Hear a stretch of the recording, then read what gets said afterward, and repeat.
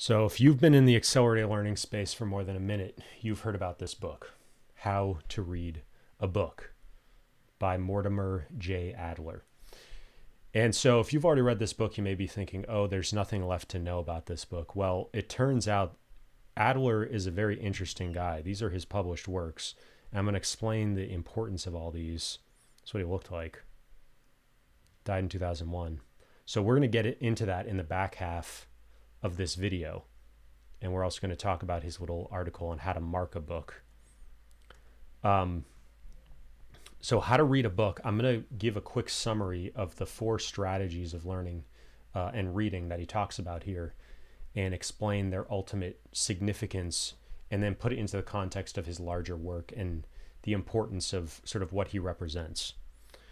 So, uh, the book is split up into four parts, and the four parts actually don't um, they don't link up to the four strategies of reading or four types of reading that he talks about. So that can be a little bit confusing.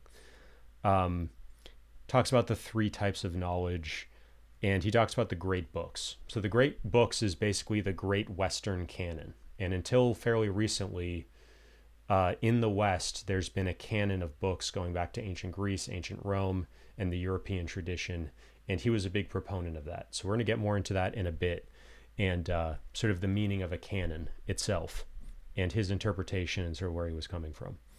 So his first uh, three approaches are structural, interpretive, and critical. And then the fourth one is synoptical.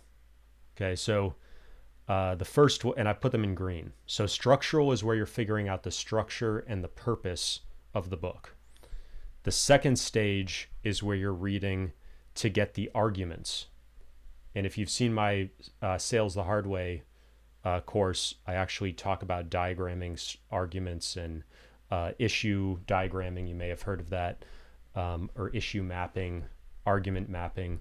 That's uh, that's the more advanced aspect or way of doing this, but you're mapping out the arguments that the person is making with the book.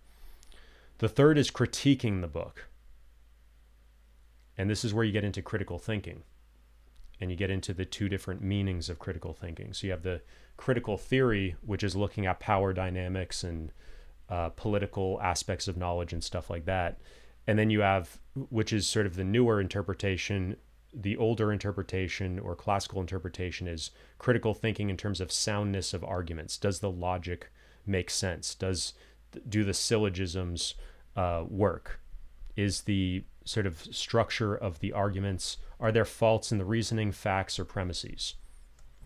And and so the newer form of critical theory and critical thinking goes to the purpose of the book. So what is the purpose? Why is this person making this argument? What is their purpose? Where do they sort of exist in the social structure and all of that stuff? So uh, those are the four uh, elements or, or, ways of reading. And so uh, that's basically what the book is about. And he talks about reading different kinds of literature. So just different kinds of books what are the variations that you do depending on the type of book? Eh, oh and the, so and then the fourth one is uh, synoptical so not just reading one book, but reading the oeuvre of a particular author or the the, the body of uh, the body of literature within a certain field. So expanding on a subject, not just reading one book on a subject. And so this is kind of adding a fourth part of, you know, and then he also talks about philosophical benefits of growth of the mind, fuller experience as a conscious being, so this gets into the philosophical, religious, spiritual uh, reasons, deeper reasons for reading and for accumulating knowledge or, or learning in general. So this is his appendix where he puts his great works, you know, his sort of Western canon Homer, Iliad, Odyssey, Old Testament, various tragedies, Plato, Aristotle, Hippocrates, Hippocratic Oath, which they actually no longer take anymore. They stopped doing that, I think, five or 10 years ago. Euclid's Elements. So when you when you ever see the Elements of Style recommended as like the key book to to learn how to read, that's based on and there's a lot of books that have elements of X. Those all are sort of harking back to Euclid and his uh, epic work of geometry, his epic synthesis of geometry. You have Cicero, Virgil, Livy, Ovid, Ovid, forget which one. So you have all these classical Roman and Greek. You have your New Testament. You have St. Augustine, um, Dante, Divine Comedy, Thomas Aquinas, Summa Theologica, Canterbury Tales, Chaucer, Da Vinci's Notebooks. Uh, Bill Gates actually owns some of Da Vinci's notebook pages. Machiavelli, The Prince, uh, Copernicus, Thomas More, Utopia. I've talked about my presidential planning. When you're thinking about planning, and even just when you're understanding from sort of a critical theory perspective, when you're understanding different people's purposes and drives for creating content, creating writings, what is the utopia of their political plan? And for your long term planning, what kind of sort of end goal are you looking to pursue? Martin Luther, 95 Theses. Uh, John Calvin, Calvinism.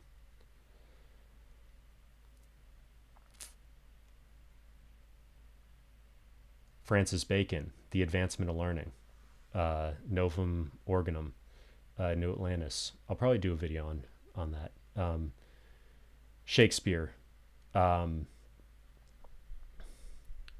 Kepler, Hobbes, Leviathan, uh, Descartes.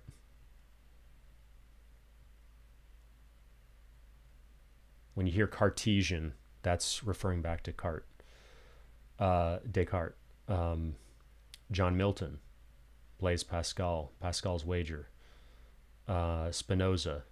If you watch my um, What is the Religion of Elon Musk, I talk about Spinoza and his sort of Spinoza's God, and that that's Einstein's God as well.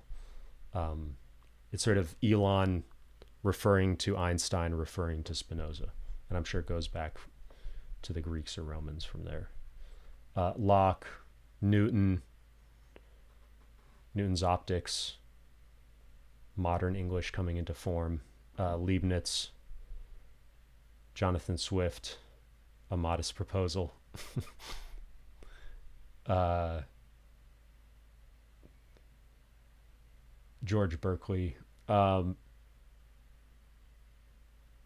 Voltaire, Hume, Rousseau, the social contract, contractualism. Adam Smith, The Wealth of Nations, Birth Economics, in a sense, in a way. Kant. Um, Faust, Faustian Bargain. Uh, Hegel, phenomenal, phenomenology, phenomenology of spirit. Uh, lectures on philosophy of history. Jane Austen, Pride and Prejudice, Clausewitz on War, Don Juan, Lord Byron, Schopenhauer.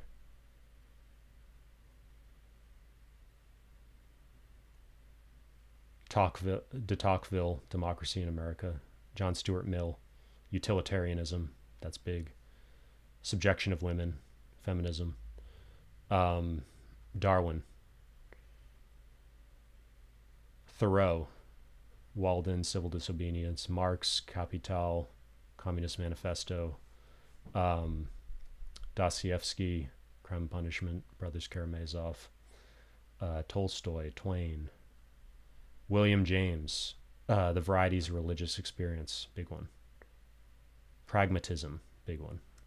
Sort of the father of pragmatism.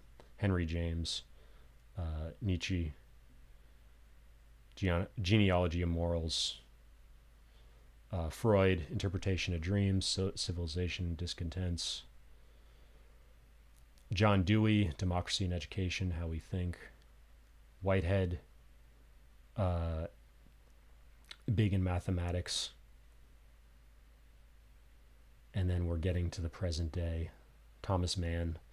If you watch my video on the, and I'll probably do another video on on the history of uh, American education and coming out of the Prussian model and militarism, Mann was involved in that, setting up education in Massachusetts that spread out, uh, free K through 12. Einstein.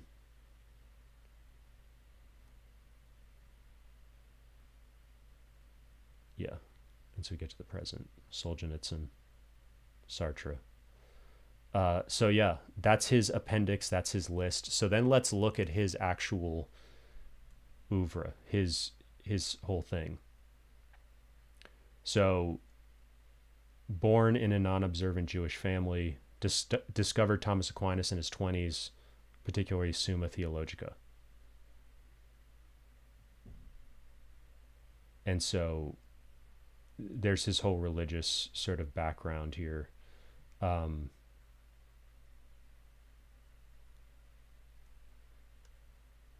not being Catholic for most of his life on account of his lifelong participation in the neo Thomist movement.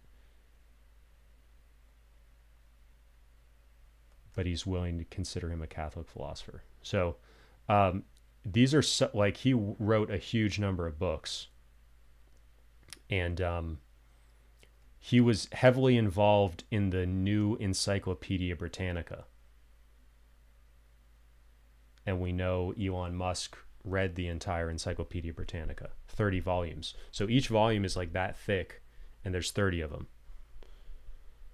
So you see all this stuff, great treasury of Western thought. So, and, and all those people's names and those key works that I just read through and highlighted some of them, those are, is in his opinion, the key works.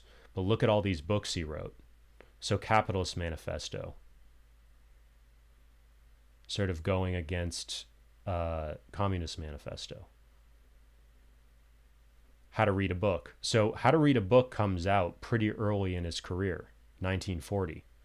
And the funny thing is, this is what most most people have no clue who he is. They don't realize that he was involved in this much larger movement.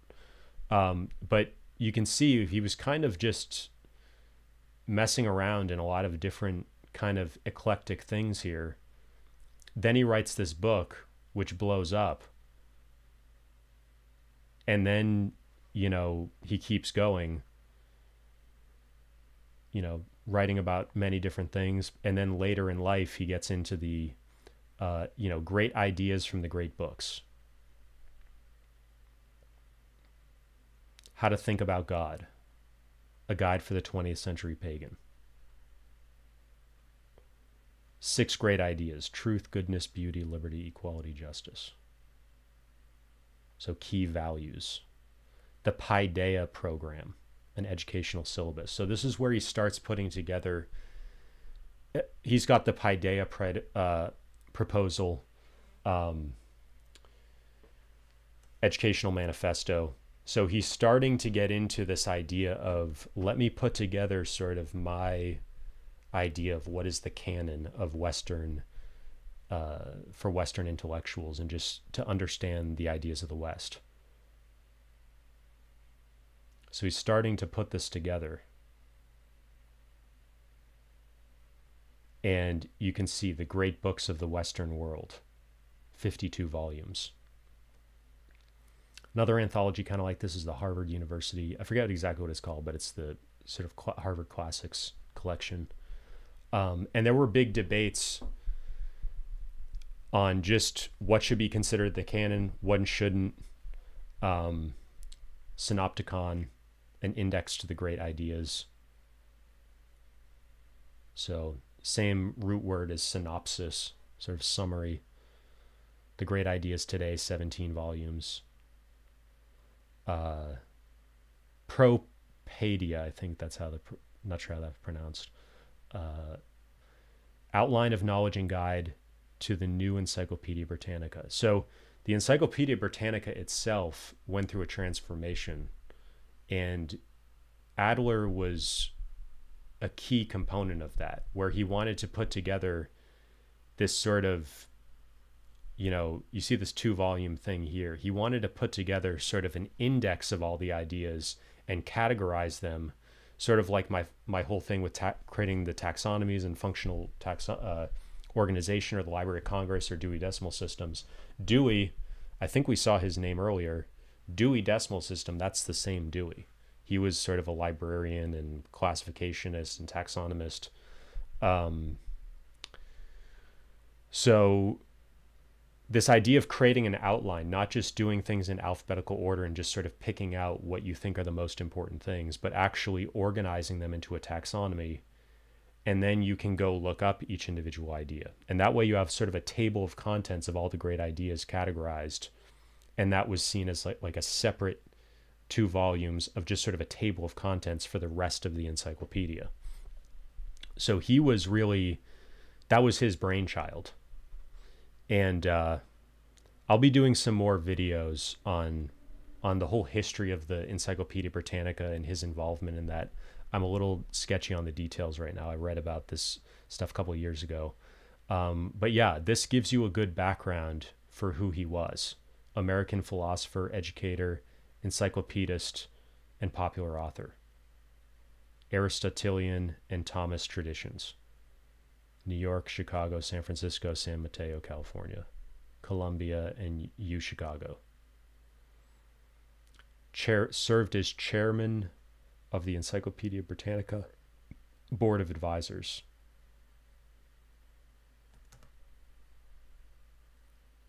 So, and then finally, this this article is linked to from the Wikipedia. How to read a, how to mark a book, annotation. So these are his strategies. I talk about this in my accelerated learning courses. If you want my most advanced stuff on accelerated learning, I have a course coming out later this year, probably. Uh, just make sure you're on my newsletter and uh, you'll get notified when that's coming out, when that's launching. So underlining, vertical lines in the margins, star, asterisks, doodads in the margins. I like to use stars, uh, one to five stars. Numbers in the margin, number of other pages in the margin.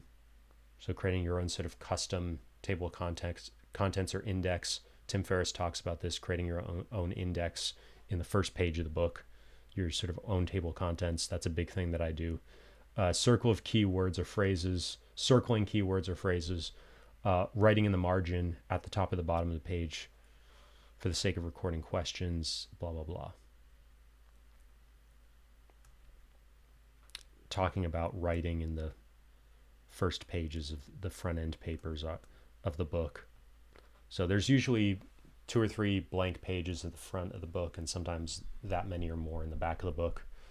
The way books are printed, they're actually printed on very large size pieces of paper, and then they're cut up into like eight or 16 pieces. And so there's almost always there's pages left over because it has to be in a multiple of 8 or 12 or 16 or whatever. Um, so yeah that's basically it. That's uh, how to read a book. And the funny thing is 1940 book this is still considered by most people to be by far the most popular book on how to read. And uh, there's a whole tradition behind it of understanding where the ideas of the Western tradition come from, um, and these different levels of reading. So, uh, big stuff. Let me know what you think down in the comments. If there's other context you would add. Do you disagree with anything I said here? Um, do you think there's any other books that sort of compete with this one for uh, sort of the ultimate book of how to read?